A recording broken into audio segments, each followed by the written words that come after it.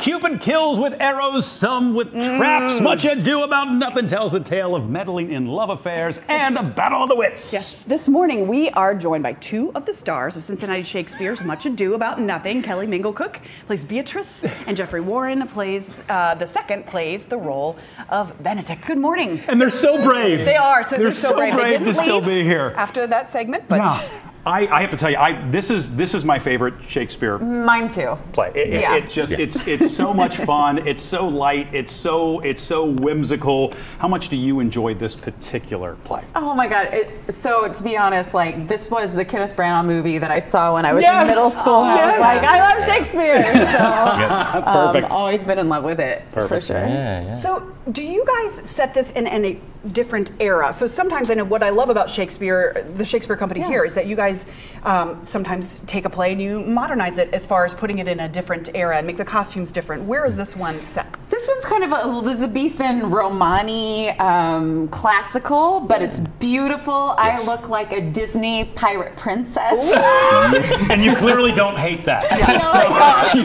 you, you seem okay with that. And- Yeah, but there's also, in, in addition to the um, the people who are sort of planted firmly on the ground, there's a lot of sort of mythical and mystical things that happen in the show as well. For those who don't actually know the play, give us the basic storyline. All right. Well, before Nora Ephron, before Hallmark classic movies, there was good. Shakespeare's rom coms, and uh, yeah, it's a, a story about two people who think they hate each other when everyone else knows they're supposed to be together. Yeah, and uh, yeah, they kind of, you know, kind of the, the, get over like th- themselves, and through their friends kind of pushing them together, they realize that they're in love, and they Yeah. realize that at the end of the play, and every everyone lives happily ever after. yeah. and there's a lot of tomfoolery, and hijinks that antics. happen in the Now, play. with tomfoolery and that type of thing, and very, the very quick, you know, speaking that you have to do. How do you guys kind of build trust with each other to know, you know, the person's going to be there to pick you up after you deliver that quick line, and they're going to be there, or they're physically pick you up.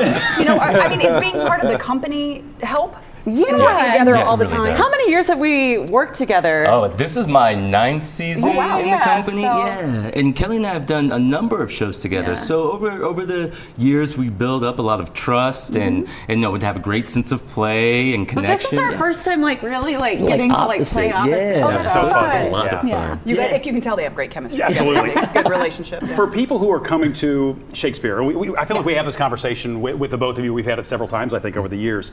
You know, Shakespeare can be a tough entry point for a lot of people. They're, they, the, the language makes them nervous, so they just don't Yeah. think they're, they're up for the task.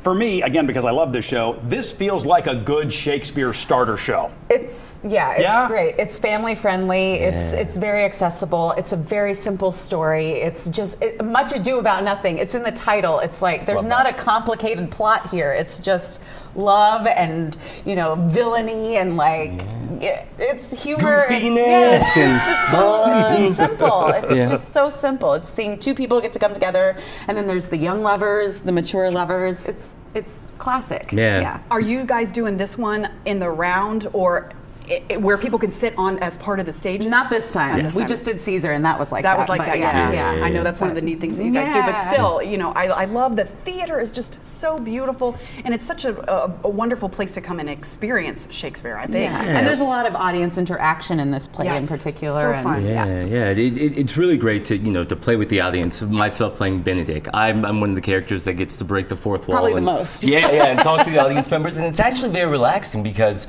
All, you know, our audiences, they want this story. They lean in, right? They want all of that, that love and hijinks and you know tomfoolery and all of the comedy. So to be able to break the fourth wall and talk to them, it's just, it's just very comforting. And I have a, a good time doing Yeah. it. Yeah. It's fun to hear the audience go like, ah! It's been happening where they're like talking to me. Oh my Yeah, goodness. it's Yeah, great. yeah. when, when you break the fourth wall like that, do you?